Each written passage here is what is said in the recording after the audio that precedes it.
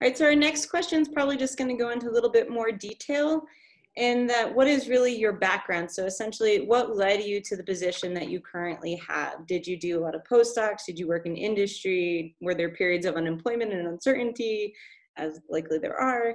Um, did you just get the job straight out of your degree, etc.? So essentially, how did you end up finding your job? Uh, James, you want to lead that off? Sure. Yeah. Um, well, yeah, I'm, I'm originally from New Zealand. Um, I did my undergraduate and master's degree uh, at the University of Auckland. Um, and yeah, there was it's uncertainty was involved afterwards for sure. That was right. I finished right during the 2008 financial crash. Um, I was working in and out of certain um, industry uh, companies, like in, exp- in exploration geology. And then I got a Fulbright um, I was doing that for about four years, and I got a Fulbright to work and do my PhD. Sorry, uh, at the University of Idaho um, in the US, and then I went to a postdoc at Syracuse University in upstate New York, um, and I was doing that, and I was at the very end. I was a research assistant professor there. Um, after getting a couple of grants, um, so I was there for about four years before uh, just landing this job here back in back in New Zealand, which I'm pretty happy about. Yeah, what a nice circle.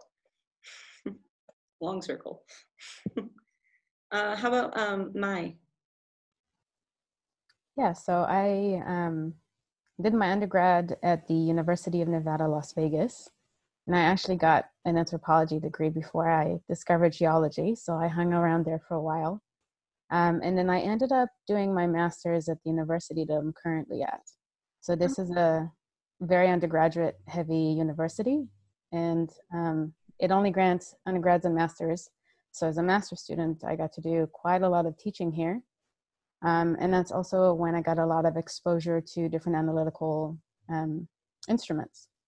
And so I, have always been curious uh, to learn how things work. I think maybe part of it stems from my car breaking down a lot so I just just wanted to know how you know how things work and learn about the instruments and how they operate, and um, that's sort of when I started diving into the um, instrumental side of things. And then I ended up working on my PhD at the University of Auckland, and I think I must have high five James as I passed over because I started this position in January. Um, and I just got, I think, really lucky in that this this university actually had the the person who was at this position leave uh, just a few months before I was finishing my PhD, and so um, I saw I saw the opening, um, and I applied, and uh, I got the position. So Yay. I got very lucky in that sense. Yeah, that's awesome. All right, Natalie and Talia. Okay, um, so I did my undergrad at the National University of Colombia. That's a very strong field-based geology degree, uh, basically oriented to oil exploration. Back then, now it's it's changed. Um, so no one talked about me about volcanoes, and I luckily met uh, an excellent mentor who was involved in the Armero tragedy in 1985 and he worked in the Geological Survey of, uh, of Colombia. Uh, and he's been also in, in the lahar's experience of Nevado del Huila and in Galeras eruption. So he pushed me to, to study at UNAM in Mexico for my master's and get involved in, in what I love, which is physical volcanology and, and field work basically.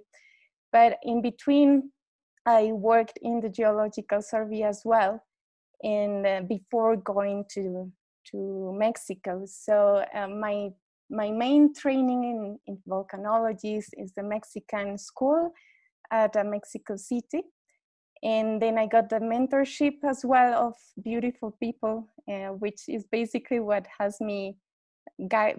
It, it has guided me all the time. So uh, Jose Luis Macias at Morelia now, and Claus Siebe in Mexico City were the main people training me.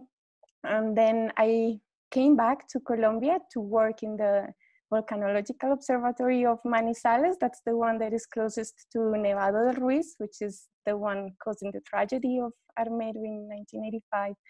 But we worked in the south, close to Ecuador, and did um, a mapping exercise, which was very heavy in very difficult conditions, but then you get to know better the teams working in the field in Colombia.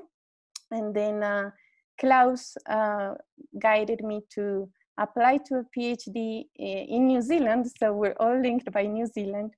but I was I was based in Palmerston North with with Shane Cronin in Volcanics Risk Solutions team. So then I also got a, an amazing mentorship from here from him and also um, quite guided by Heather Wright at the, um, from the USGS back then uh, she was just um, going back to the US from Australia.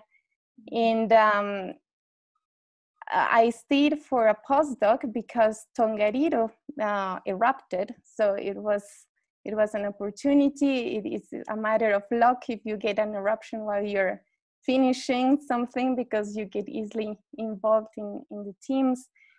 And um, but I think I, I needed to come back to my crazy jungle and try to keep contributing here because we don't have so it's an advantage at, at some stage that in uh, in Latin America the main schools in volcanology are basically in, in Mexico and now it's getting stronger in Chile.